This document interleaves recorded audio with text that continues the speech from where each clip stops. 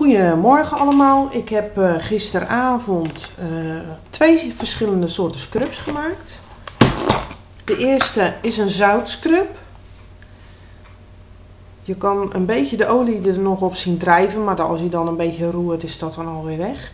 Het is gemaakt uh, van gewoon keukenzout, olijfolie en calendulaolie en gegeurd met rozengeur en aloe, nee, fris linnen. Ik zelf vind het altijd prettiger om een uh, zoutscrub uh, te gebruiken. En mijn man die vindt het fijn om uh, een suikerscrub te gebruiken. Dat is gemaakt van suiker, olijfolie en ook cal calendulaolie. En gegeurd met country en winter parfumolie. Het was de bedoeling om hem blauw te kleuren, maar dat is niet helemaal gelukt. Je ziet alleen nog een beetje blauwe spikkeltjes, maar het is een beetje meer donkergroen eh, geworden. Maar dat maakt voor de werking niet uit. Het scrubt zalig.